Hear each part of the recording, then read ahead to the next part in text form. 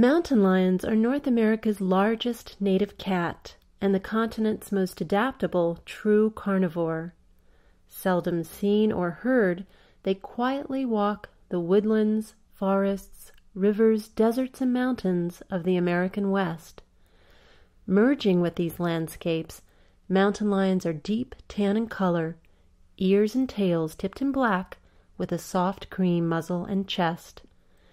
They weigh a little less than people on average, from about 80 pounds to 180, standing two or three feet high at the shoulder.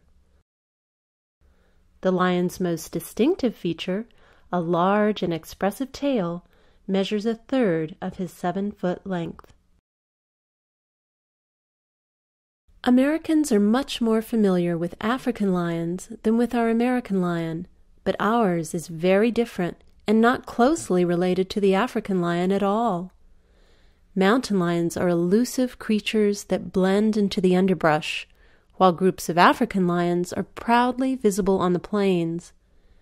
Mountain lions do not live in prides, they are solitary animals. It's unusual to see a group and if you do, it's likely a mother lion caring for her growing kittens. Males and females do meet throughout the year to mate, but you're much more likely to hear their unique caterwaul, a high pitched cry, than ever see a mating pair.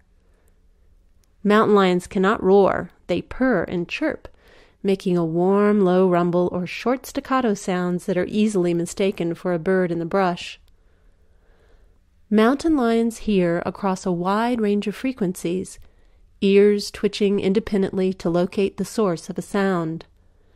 Their eyes are especially adapted for hunting when light is low, and they see at a wide angle. They're aware of movement and contrast more than details or color.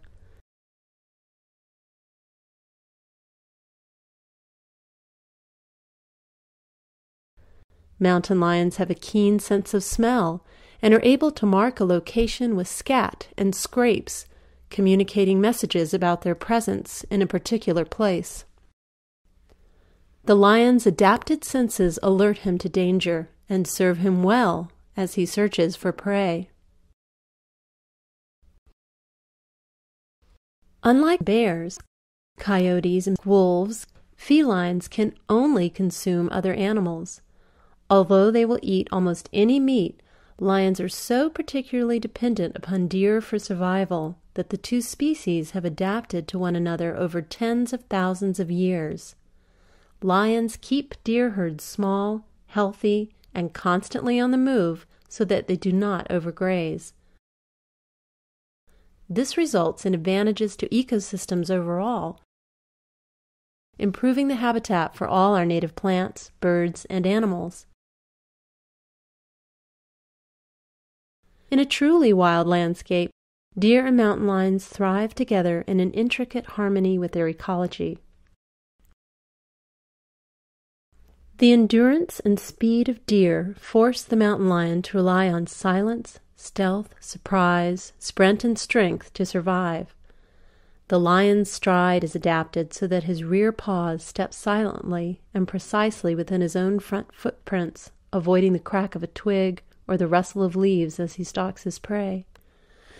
The lion's incredible musculature allows him to reach 50 miles per hour in a sprint, to bound up to 40 feet at a run, and to leap 15 feet straight up into a tree. His amazing tail, unusual even among felines, provides astounding precision, balance, and agility. American lions do not hunt cooperatively. They walk many miles alone from dusk to dawn to carefully mark and defend a territory. A solitary mountain lion's home range may stretch for hundreds of square miles. Males are very intolerant of intrusions by other males. A female lion's home range will usually intersect with those of several males, increasing the chance that her kittens will survive. A young mountain lion's most fearsome challenge will be to find, take, establish, and defend a home territory.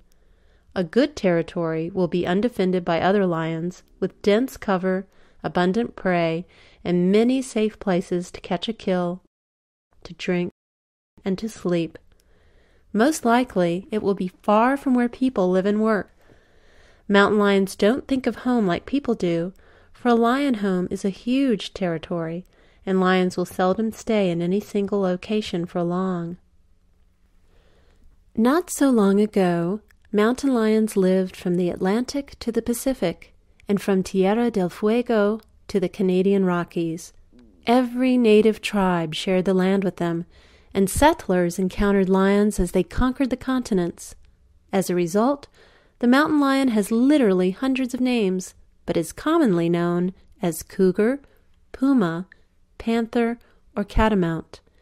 Its scientific name is Puma concolor, meaning cat of one color.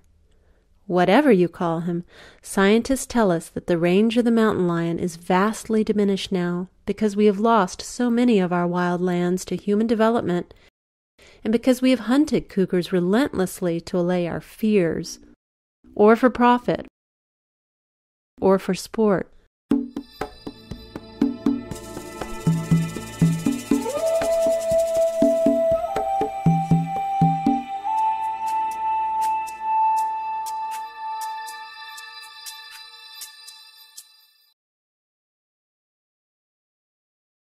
So many of us are appalled at the potential loss of the tiger, the leopard, and the African lion. We must not be careless about our own. To help save America's lion, join the Mountain Lion Foundation by visiting www.mountainlion.org and becoming a member.